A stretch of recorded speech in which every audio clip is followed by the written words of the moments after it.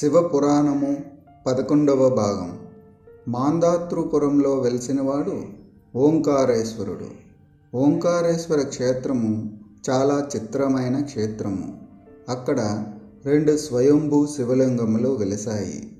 అందులో ఒకదానిని ప్రణవాకార పరమేశ్వరుడు అంటారు.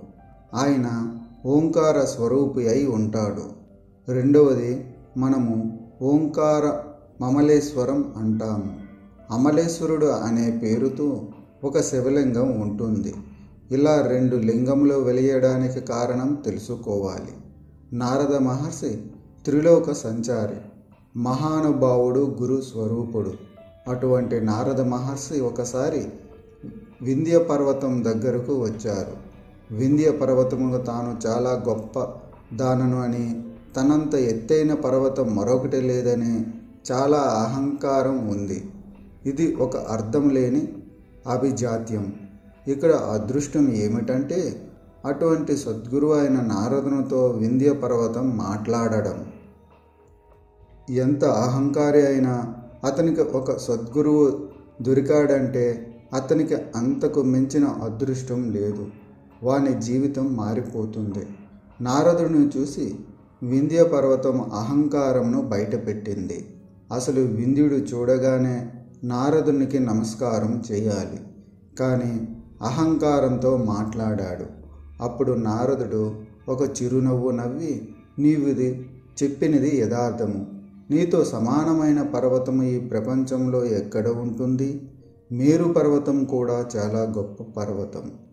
నవగ్రహములు ఆకాశంలో తిరుగుతున్నప్పుడు అవి మేరు పర్వతమునకు ప్రదక్షిణగా తిరుగుతూ ఉంటాయి అన్నాడు.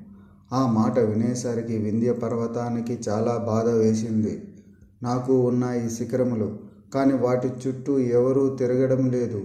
మేరు పర్వతమునకు ఉన్న కీర్తి నాకు లేదు అని అనుకుని నారద నేను కూడా అటువంటి కీర్తిని పొందాలి. మీరు పర్వతము కంటే గొప్ప ఉన్నతిని పొందాలి. అందుకని ఇప్పుడు నన్ను ఏమి చేయమంటావు అని అడిగాడు.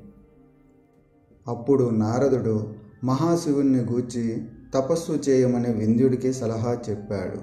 వెంటనే వింధ్యుడు మహాశివుణ్ణి గూర్చి శివ పంచాక్షరి మహామంత్రమును ఉచ్చరిస్తూ తపస్సు చేయడం ప్రారంభించాడు. అలా కొన్ని వేల సంవత్సరములు తపస్సు చేశాడు.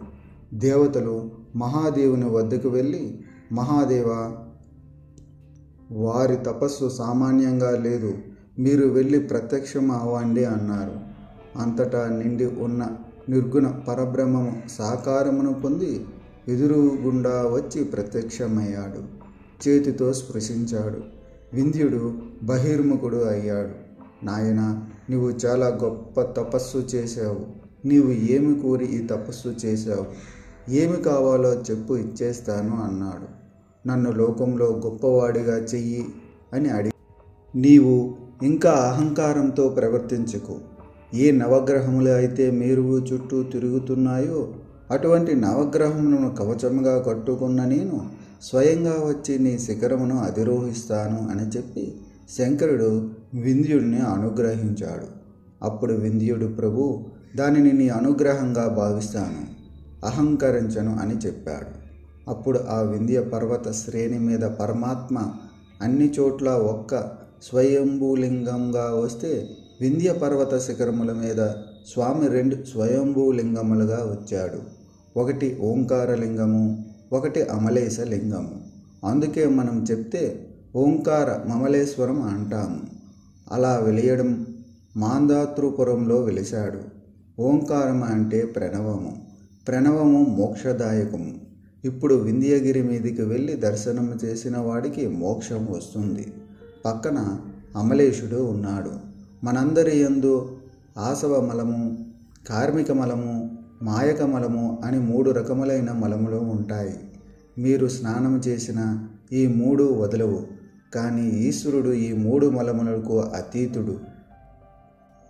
ఎవడు మీకు ఈ మూడు మలములకు అతీతమైన స్థితిని ఇవ్వగలడో తానే స్థితిలో ఉన్నాడో ఆ స్థితికి మిమ్మల్ని ఎత్తగలిగినవాడు వాడు ఓంకారేశ్వరుడు. మీరు కోరిన సమస్త కోరికలను తీర్చగలిగినవాడు ఆయన నిరంతర ఆనంద స్వరూపుడు. మీరు అడిగినది ఏదైనా ఇవ్వగలడు. ఇప్పుడు ఆయన అమరేశ్వరుడుగా ఓంకారేశ్వరుడుగా ఉన్నాడు. ఇద్దరుగా అక్కడ వెలిసి శంకరుడు నిరంతరము జనులను శుభమును ఇస్తూ ఆ కొండ మీద వెలిసి ఉన్నాడు. అలా వెలిసిన అమలేశ్వరుని శంకర భగవద్బాతులు ఒక అద్భుతమైన శ్లోకంతో ఆరాధన చేస్తారు. మనం అమరేశ్వర లింగమును చూసినప్పుడు ఆ భావమును మనస్సులో తెచ్చుకోవాలి. అమలేశ్వర లింగమును ఓంకారేశ్వర లింగమును మీరు అక్కడ కళ్ళతో చూసి తత్వ విచారణ రీత్యా మీ మనస్సు లోపల తెచ్చుకోవాలి అని శంకరులు అంటారు. సాంబే అంటే సా అంబే అమ్మతో కూడుకున్న అయ్యా ఓ శంకర నీవు పరబ్రహ్మవు నీవు అమలేశ్వరుడు. మూడు మలములకు అతీతమై ఉన్నవాడు ఇక్కడ నీవు లింగముగా కనపడుతున్నావు. నీవు నాతో వచ్చినప్పుడు నీవు ఆకాశ స్వరూపుడువై ఉన్నావు. నీవు దిగంబరుడు పది దిక్కులు కలిసి నీకు వస్త్రము అయ్యాయి. దిక్కులను అంబరంగా కట్టుకున్నవాడవు.